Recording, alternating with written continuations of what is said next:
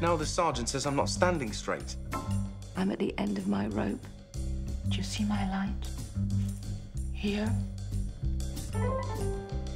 You seem a little blue, not your usual self.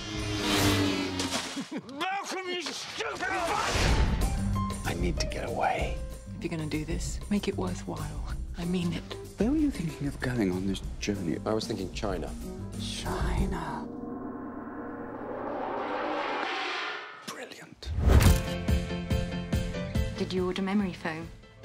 I forget, did I? Business or pleasure? I want to know what makes people happy.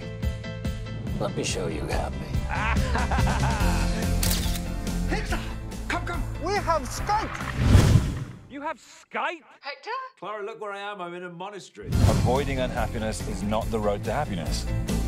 You hold all the cards, Hector. Hector! Michael, Jesus! Hey, I'm in Africa. Hi, boys. Hey, fine. Keep it handy, travel candy. Why are you here? I'm researching this day of happiness. I like that. Clara, I got kidnapped. Are you coming home? Not yet. Fine. I can get on with my meaningless life. Know where you're going next? Los Angeles. Agnes. Unfinished business.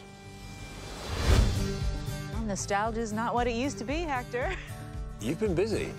How many of us can recall that childhood moment when we experienced happiness as a state of being?